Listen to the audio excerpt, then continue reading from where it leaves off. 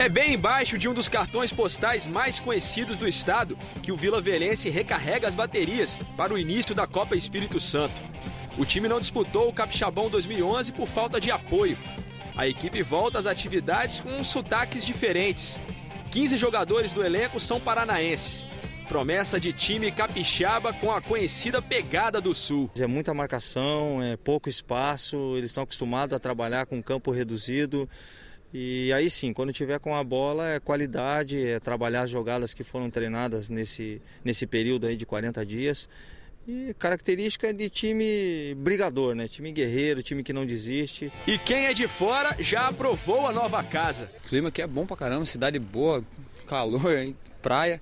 Mas o nosso time tá bom, né, cara? O nosso grupo tá unido, a gente tem que fazer o trabalho agora certinho, tudo conseguir entrosar o grupo a gente poder ser campeão, chegar no nosso objetivo aí, né? Mas a maior aquisição do Vila não é paranaense. Reinaldo é de Brasília.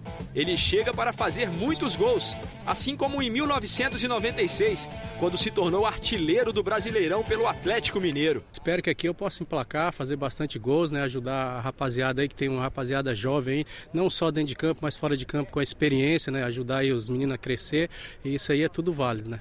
A volta do Vila Velense às competições aqui no estado acontece neste domingo contra a Desportiva no estádio Engenheiro Araripe. Já foram vendidos para essa partida 1.300 ingressos. E os jogadores que vieram de outros estados terão mais uma novidade para este jogo.